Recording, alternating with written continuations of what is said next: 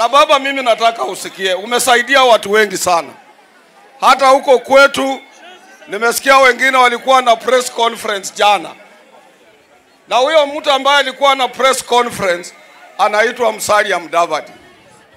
Musalia Mudavadi baba alimfanya deputy prime minister wake katika ile serikali ilikuwa ya nusu mkate, akafanya Marende. Hawa ni Waluya, waona aibu sana.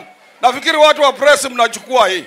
Akafanya bwana Marende Mbaluya kuwa spika, akafanya Fred Gumo Mbaluya kuwa minister, akamfanya Abab na Mwamba Mbaluya kuwa minister, akamfanya bwana Dr. Polo Tuoma kuwa minister katika serikali yake, akatupatia assistant ministers watatu, akafanya bwana Alfred Hangati Mbaluya kwa ofisi yake,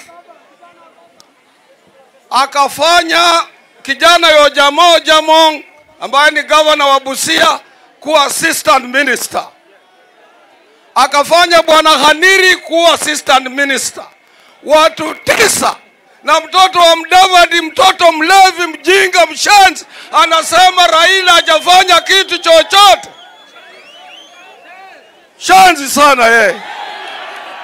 Na tarehe tisa, mimi nataka kuambia kama wewe unajua mtu Sugoi, kama wewe unajua mtu Eldoreti, kama wewe unajua mtu Wasingishu, muambie wakate miti, wakate miti, wakate miti siku hiyo, na dawa ya panya watupe, dawa ya kuua panya, kwa ajili huyo mtoto anaitwa Ruto atajinyonga ama atakunywa dawa ya panya.